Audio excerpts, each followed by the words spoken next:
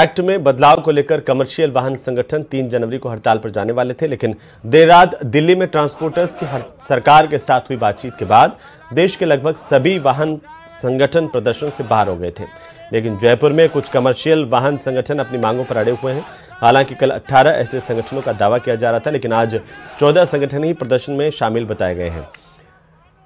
ये पूरा मामला आखिर कहाँ अटका है? जानने के लिए कमर्शियल वाहन संगठनों के नेताओं से हमारे संवाददाता आसिफ खान ने बातचीत की है। रन एक्ट मामले में लगातार प्रदर्शन जारी है। हालाँकि कल देर रात दिल्ली के अंदर ट्रांसपोर्टर्स की सरकार के साथ हुई बातचीत के बाद कुछ संगठनों ने प्रदर्शन और हड़ताल को वापस ले लिया था। लेकिन अभी भी राजस्थान में चौदह संगठन जो है, वो लगातार जो है, वो बने हुए हैं। इनका कहना है कि हम प्रदर्शन जारी रखेंगे जब तक कानून को वापस नहीं लिया जाएगा। कुछ ड्राइवर्स के संगठन हमारे साथ हैं उनसे बात करते हैं। क्या नाम है आपका? मेरा नाम शक्ति मेरा नाम शक्ति सिंह है। शक्ति सिंह ये बताओ आपका संगठन अभी भी जो है वो स्ट्राइक में शामिल है? बिल्कुल शामिल है हम क्या चाहते हैं आप? हम चाहते हैं कि जो भी ये देश की लोकसभा से जो पारित हुआ है ये कानून उस कानून के अगर कानून पास करते तो हम यहाँ से जो सांसद चुन के भेजते हैं उनको इस चीज़ का मुद्दा उठाना चाहिए पहले।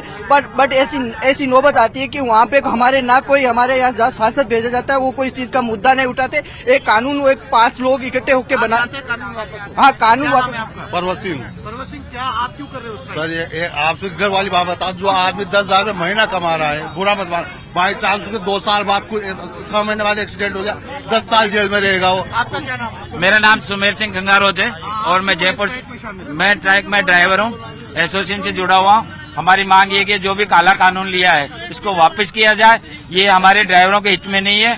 और रन नेट को ये तमाम अलग अलग संगठन के ड्राइवर से कोई टैक्सी एसोसिएशन से कोई मिनी बस एसोसिएशन से है अलग अलग तरह के ड्राइवर्स यहाँ पर खड़े और इनका साफ़ तौर पर कहना है कि कंफ्यूजन की जगह ये साफ़ किया जाए कि कानून को वापस ले लिया गया है क्योंकि एक ड्राइवर जो दस से पंद्रह हज़ार रुपये की तनख्वाह पाता है वो इतना बड़ा जुर्माना कहाँ से चुकाएगा?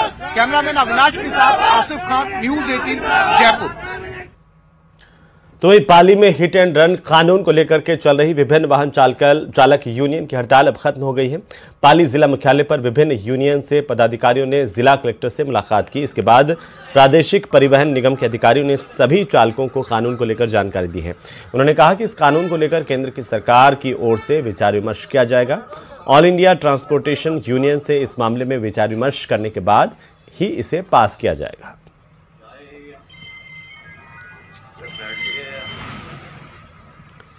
तो हिट एंड रन कानून में हुए बदलावों के बाद देश भर में विरोध, प्रदर्शन और चक्का जाम जैसी स्थितियाँ बन गई थीं, जिसके चलते अजमेर में बस और टैक्सी यूनियन की ओर से तीन जनवरी को यातायात बंद रखने का आह्वान किया गया था। वहीं सरकार के नए हिट एंड रन कानून के अभी रोक लगाने के बाद सभी स्थानों पर बंद के आह्वान को वापस ले लिया गया। यूनियन के पदाधिकारियों ने बैठक के बाद यह फैसला किया। इस दौरान शहर में यातायात के हालातों का जायजा लिया है हमारे संवाददाता ने।